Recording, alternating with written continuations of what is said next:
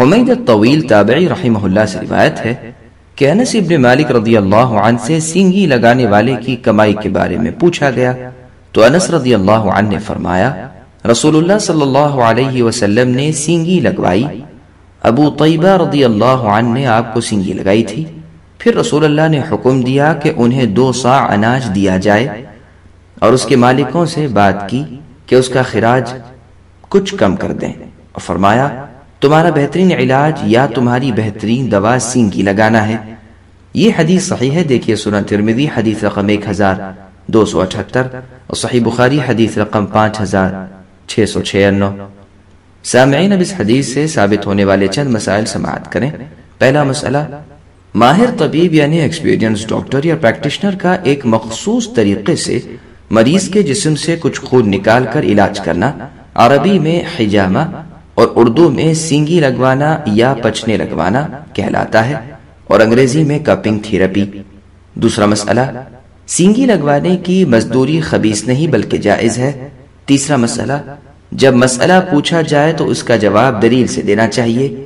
چوتھا مسئلہ، بیمار کا کسی ماہر طبیب سے سینگی لگوانا بہترین علاج ہے۔ پانچواں مسئلہ، خراج اس رقم کو کہتے ہیں جو غلام اپنے آقا کو آزاد ہو جانے تک ادا کرنے کا پابند ہوتا ہے۔ علی ابن ابی طالب رضی اللہ عنہ سے روایت ہے کہ نبی صلی اللہ علیہ وسلم نے سینگی لگوائی اور مجھے حکم دیا تو میں نے سینگی لگانے والے کو مزدوری دے دی۔ یہ روایت صحیح ہے، دیکھیے سنن ابن ماجہ، حدیث رقم دو ہزار ایک سو ترسٹھ۔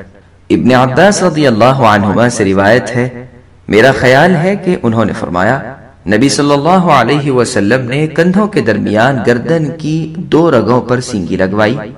سینگی لگانے والے کو مزدوری دی اور اگر یہ حرام ہوتی تو آپ اسے کبھی مزدوری نہ دیتے۔ یہ حدیث صحیح ہے۔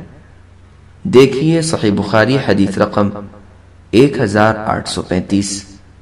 ابن عمر رضی اللہ عنہما سے روایت ہے کہ نبی صلی اللہ علیہ وسلم نے ایک سینگی لگانے والے کو بلایا اور سینگی لگوائی۔ اور پوچھا، تمہارا خراج کتنا ہے؟